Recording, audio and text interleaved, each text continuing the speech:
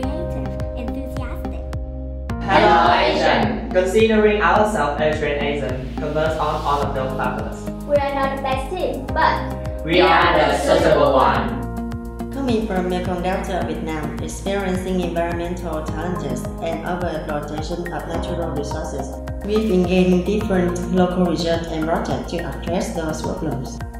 I usually choose to do a project related to economic nature so that Hopbright would share a platform, help students to innovate and run the whole business in accordance with Sustainable Development Goals of United Nations. My team has researched mobile blood protection system to improve the effect of high tides. I hope that it will help many people.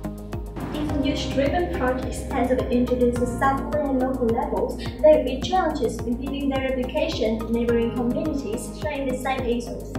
Inspired by the idea of circular economy, we would like to establish an open access platform called ASEAN Circular, which networks the sustainability-oriented ideas and initiatives on over ASEAN. With this idea, we hope to inspire participants to engage in a circular economy and its influence on better resource management in their home country.